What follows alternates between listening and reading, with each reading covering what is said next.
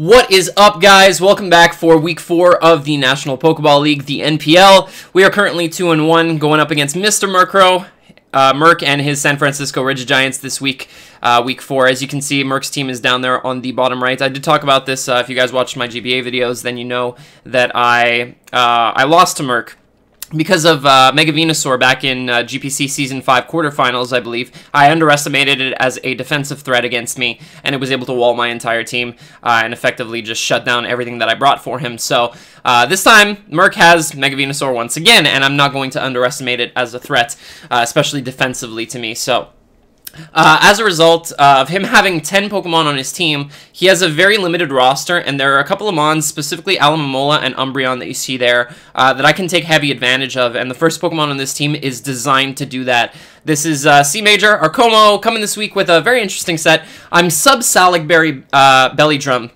with uh, Rock Slide and Drain Punch, so Looking at his team, uh, Murk pretty much has to bring one to two Scarfers against me uh, because he doesn't really match my speed tiers, especially Arrow and Koko specifically. Uh, as a result, I just need to identify those Scarfers, and then Como can go in. Alomomola and Umbreon are huge, huge setup targets for this thing. I've made sure that my HP allows me to take an Ice Beam, not get my sub broken by Alomomola, and uh, I can set up a Belly Drum, uh, sub again uh, afterwards, uh, if possible, if, uh, if I've taken rock damage, for example. Uh, or not rock damage, sorry, I'm, I'm, even HP. I wouldn't be able to sub again, but I'd be able to Drain Punch and get all my health back. Uh, and then if I've already eliminated his Scarfers, or if I'm behind a sub, uh, I can Rock Slide and Drain Punch sweep through his entire team. Nothing on his team can take this thing on once it's at plus 6, plus 1. So that's the idea there. Bulletproof uh, doesn't really protect me against a lot on his team. Except for Mega Venusaur. Mega Venusaur can't really run its standard Sludge Bomb Giga Drain set against this, because Sludge Bomb doesn't hit it and Giga Drain is resisted. So uh, he would have to run a different uh, Mega Venus set to touch me, maybe something like HP Ice, for example. And he'd be able to, to, to hit this Como. But other than that, uh, I did consider running Soundproof because of Umbreon. If he decides to bring that with Roar, for example, he'd be able to uh, to phase me out as I go for a sub, and then I wouldn't be able to sub plus Belly Drum any uh, any further in the game. So uh, that would be a little bit annoying, but I don't expect Umbreon, and especially not Roar on that. Moving on, we have Captain Crunch, our Tapu Koko, uh, coming with a Choice Scarf this week with Wild Charge, U-Turn, Brave Bird, and Thunderbolt. So um, I really switched up the item, the spread, and the moves on this thing multiple times during team building. Uh, I was originally running a Roost, uh, because this thing could really punch holes through his team. Uh, but realizing that Murk needs one to two Scarfers, I decided to bring a Scarfer that's faster than all of his Scarfers. Um, except for Aerodactyl, but I doubt that that would come Choice Scarfed if it comes it never wants to lock itself into, for example, like Aerial Ace uh, or Fire Fang against me. So uh, I really, really doubt the arrow would come with a Choice Scarf. So we got Wild Charge, U-Turn, Brave Bird, and Thunderbolt. Thunderbolt is specifically because uh, it does more damage to the Aloe and the Kartana than anything else that I could go for. Uh, and then we have Wild Charge, which hits pretty much everything else except for the Venusaur. That's why Brave Bird's on there. Uh, it is a two-hit KO after rocks to a max defense variant, or very, very close. Unless I get absolute min rolled on both Brave Birds, I do knock out the Mega Venusaur. So he would have to pull some some switches into his Aloe, Wish Pass into his Mega Venusaur, uh, but I can always pull doubles uh, consequentially. So it's a pretty straightforward set, not much to say about it. Moving on, probably the most important and pivotal set to this team is going to be Lyra, our Meloetta. Uh, we've got Psychic, uh, Hidden Power, Ground, Shadow Ball, and U-Turn. I was originally Focus Blast over Hidden Power, Ground. Shoutouts to Adam for uh, for giving me the idea to switch it over to HP Ground because I really only needed it for um, for the Heatran, uh, as I'll probably be U-turning out on the Umbreon if it does come anyway. So uh, we got an Assault Vest. So this is my primary check. excuse me to his Tapu Lele, uh, being able to switch in on either stab, uh, including Psyshock. Uh, as we know, Meloetta is a little bit more frail on the defensive side, especially the Assault Vest is only affecting its special defense, uh, and I've invested correctly to be able to take Psyshocks, even from Specs Lele, uh, and if I identify that it's a Specsmon, then Como goes in late in the game, uh, because uh, I've already calced for Kartana, which is his other likely Scarfer being able to knock me out with anything, uh, and Psycho Cut does like 60 max, so as long as I'm above 60 after a Drain Punch, I'm pretty much good to go against the rest of his team. So uh, I'm kind of hoping that Lele comes with a choice item, especially Scarf. Scarf would be shut down by this thing completely. Uh, if you can't call mine in front of me, that's that's amazing. Uh, U-turn is great for momentum, especially if uh, he does bring the Dugtrio. I never want to be trapped by that thing because then it's a really, really bad time for uh, for countering Lele. Without this thing, I'm, I'm dead to that thing. So Psychic, very nice against this team in general, outside of the Heatran. Uh, nothing really wants to take it. Umbreon, as we said, we would U-turn on. Shadow Ball is, is a really, really important move on this uh, on this set, though, because Aloe can take Psychics outside of uh, Psychic terrain, for example. Uh, but Shadow Ball paired with Serene Grace does give me the 40% drop. Uh, sorry, the, my layout's there, but uh, uh, it does give me the 40% drop on his special defenses, so it's probably going to be the move that I spam the most against Murk, uh, and hopefully I can keep this thing generally healthy, that's why we have such high HP. I have an even HP stat, which I don't usually do, but this spread ultimately covered every possible uh, damage roll that I was calcing, so uh, this was the uh, the best thing that I could bring. Moving on, we have uh, our Kartana check, which is his other scary Mon. Uh, that thing has 8 kills right now, and he's been using it really, really well used Wonder Room with it, which was uh, I think it was uh, was it Wonder Room? No, it was Magic Room uh, shut down all items, which was ridiculous. He, he swept through with Kartana at some point, but uh, we do have the North Forretress coming with a Rocky helmet, max max defense, absolute max defense, because Kartana is way too much of a threat with that base 180. Uh, I believe it's 181 attack. Uh, is absolutely ridiculous. Uh, we have Gyro Ball, Spikes, Volt Switch, and HP Fire. So Gyro Ball is there mainly for the Lele. Obviously, if Kartana's gone, then I can use this as a semi check to uh, to the Lele. Uh, it also hits Venusaur the hardest, as well as his Aerodactyl and his Dugtrio. Uh, spikes are there because uh, Murk is unlikely to bring hazard removal against me. If he does, it's on his Zapdos. And I'm okay with that because Zapdos, if it does come as a defensive Mon, uh, is very, very uh, weak to the rest of my team. So that's really nice for me, as you guys are going to see the last mon on this team kind of takes advantage of uh, defensive Zapdos. So uh, we've got uh, Volt Switch on there. Volt Switch is really nice because I don't see him staying in with Kartana. If he's spamming, for example, Leaf Blade and I have a Rocky Helmet, he's doing like 8 to me, and I'm doing 16 reciprocal uh, with, we, with the uh, Rocky Helmet. So he's got to switch out, and his only ground type on his team is Dugtrio, and Dugtrio does not want to come in on Fortress because he's going to die to Gyro Ball or almost die. And then we've got HP Fire. I was originally Pain Split on this set, so to make sure to keep my Fortress healthy, but I told myself if Murk is going to knock off my Rocky Helmet anyway, there's no point in me, um, in me pain splitting up because Kartana has super low HP as well, and I have a really, really heavy HP uh, invested stat, so I'm going to be healing nothing with Pain Split. Uh, there were endgame situations in my mocks uh, that came down to Fortress versus Kartana, uh, and Kartana at plus one, and I couldn't check it because Gyro Ball doesn't hit it hard, and neither does Volt Switch unless it's in terrain, and even that, it's not a powerful Volt Switch. So I had to run something to hit the Kartana. Uh, because I'm minus speed, the HP Fire actually knocks out Kartana from full, even from this base spe uh, 60 special attack, uh, if he doesn't have too much HP, of course. So this is a really, really good tech on here. Uh, I don't think he expected me to bring it, uh, from what I heard from other people, but anyway, it's not too important. We'll move on. We do have Terror, the Mega Aerodactyl coming this this week with Stone Edge, Stealth Rocks, Roost, and Aerial Ace. So Aerial Ace is pretty obvious. That's for the Mega Venusaur. Stone Edge pretty much hits everything else. He does have great defensive checks to it, i.e. Alomomola and Umbreon. Uh, but again, those are my setup targets for the Como you guys saw earlier. So uh, that's going to be really nice. I want to force those in, and Arrow does a really good job at that because uh, Zapdos, Lele, uh, Heatran, Mega Venu do not want to stay in on uh, Mega Aerodactyl. Neither does Throw. Dugtrio is going to die to two Aerial Aces, maybe even one. Um, 84 Adamant. I got enough speed on here for his... I believe this is his Aerodactyl speed creeping my creep of his Dugtrio. So it's it's really it's really strange, but uh, I decided to go a little bit more speed than just his Dugtrio, just in case his arrow decides to he decides to EV his arrow in consequence to my creep on his Dugtrio.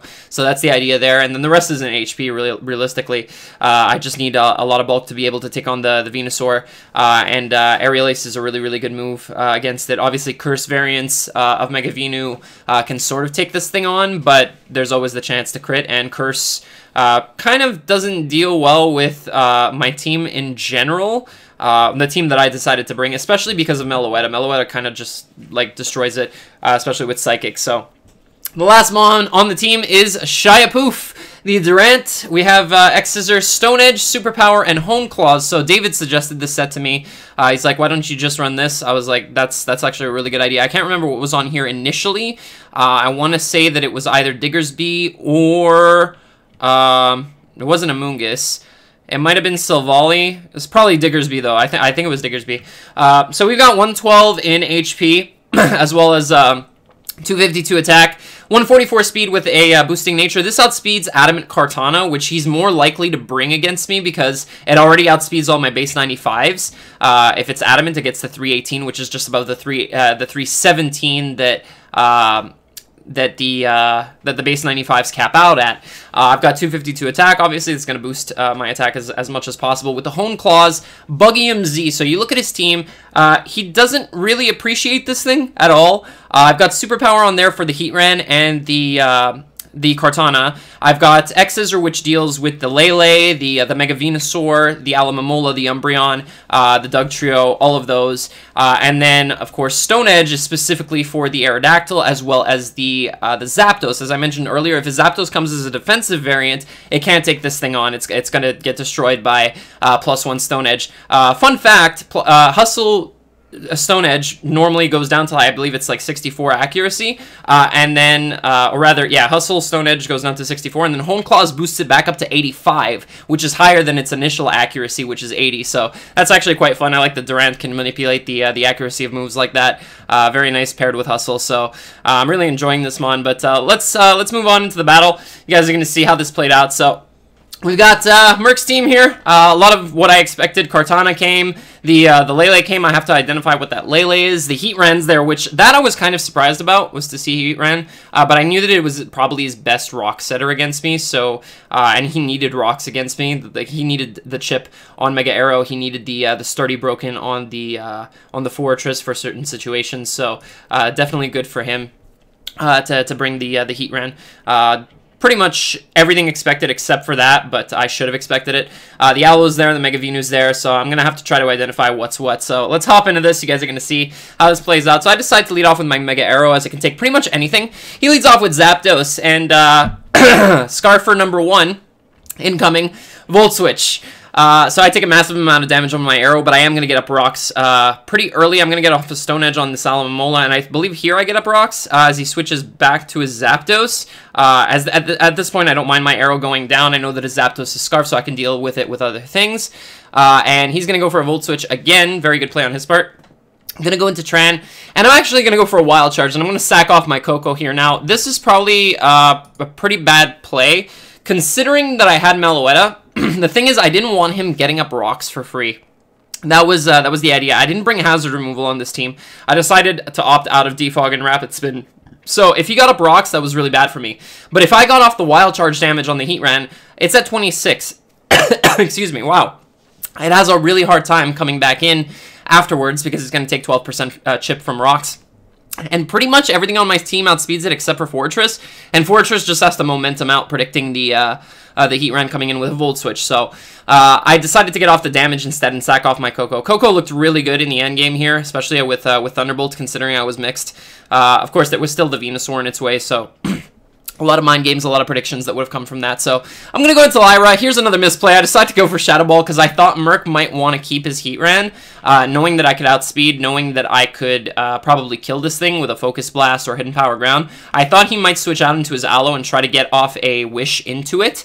So uh, I decided to Shadow Ball, try to get a drop uh, on the Shadow Ball, and he, instead uh, he's going to stay and he's going to go for Flash Cannon. And this is really good for him because this reveals that I'm Assault Vest. That uh, Flash Cannon actually did a lot for uh, an Assault Vest Meloetta, considering I'm so bulky. So uh, yeah, that's that's that play. I'm going to go for Psychic on the following turn. It knocks out the Heat Heatran, so no point in not going for it. He's going to go into Kartana. I'm going to go into my dedicated check the fortress, and he's going to get off a knockoff and get rid of my Rocky Helmet, so now his Kartana can spam moves whenever it wants. I'm going to go for the uh, Volt Switch right here as I don't expect him to stay in. He's going to go into his Zapdos. I predict that correctly. And I'm going to get in my Meloetta again. He's going to go for a Volt Switch at his Scarf. This this does a lot less, only 16.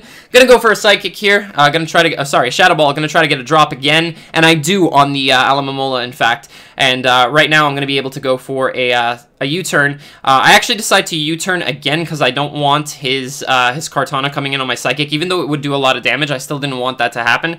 He's going to go for a Wish, and he's going to get out and pass this into his Kartana, which is really, really bad for me, as his, uh, his Kartana is going to heal up to full. And I'm going to go back into Fortress again. I can't let my, my arrow go down just yet. I don't want this thing to get a boost either. He goes for another knockoff. This time I'm going to go for an HP Fire, predicting him to stay in. He actually goes into Venusaur. That does nothing. It bounces off, uh, as uh, I don't know what this Venusaur is. It could be, very easily be carrying HP Fire, so I'm going to play it safe. I'm going to get out of here, and I'm going to go back into my arrow as he decides to Mega Evolve and go for a Synthesis. I'm like, okay, that's fine.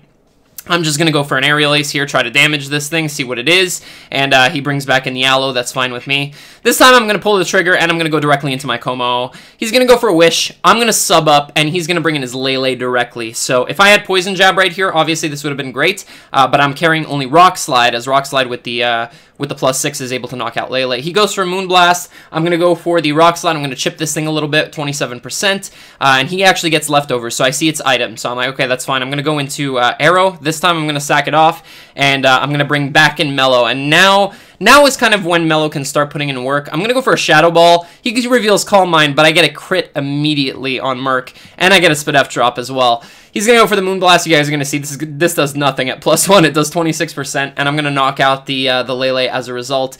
And now he's going to bring back in his Kartana, his best revenge killer to this. Uh, I'm not letting it go down. I'm going directly into Fortress on his knockoff, and uh, I know he's not staying in. I'm going for the Volt Switch this time around and uh, I'm getting out, and I'm gonna bring in my uh, my Meloetta again because it's a huge threat, and uh, I'm gonna go for a Psychic. He goes into his uh, Aloe. I didn't plan to get a Spadef drop, but I do, uh, and as a result, his Melo can't, uh, his uh, Alomomola can't stay in on me anymore, so he's going to have to, he's actually gonna go for a Wish, and I think he takes this Psychic just barely.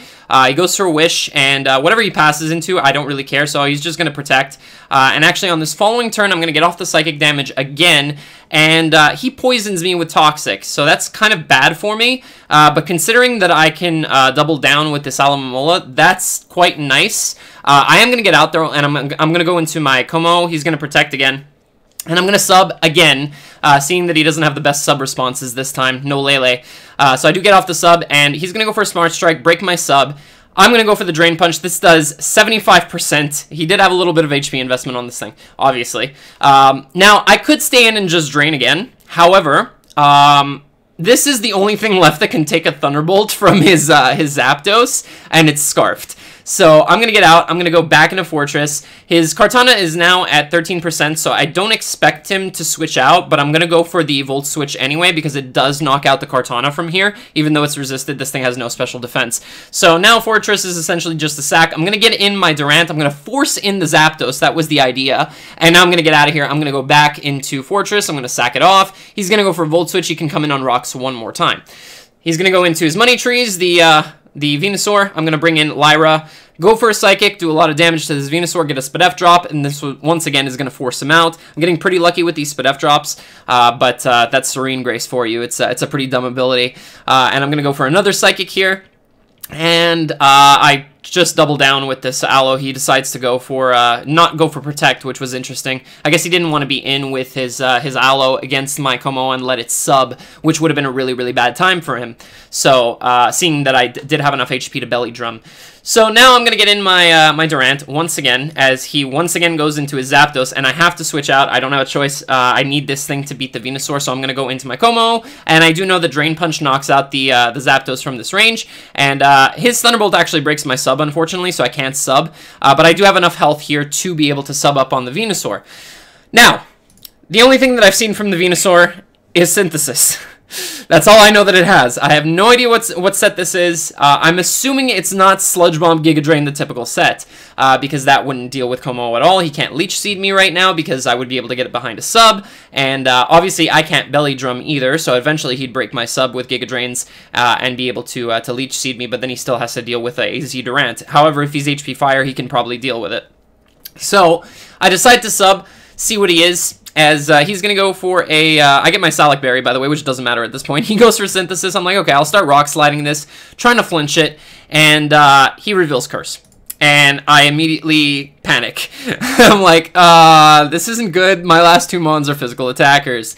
How the hell am I going to break this thing? Seeing Curse pretty much tips me off that he doesn't have HP Fire. I really feel like he needs the, the ground plus the grass move uh, to be able to deal with my entire team having this as a setup sweeper. So I'm going to switch out immediately. I got to get out of here. I got to go into Durant. I got to try to break through this thing. He's going to go for another Curse.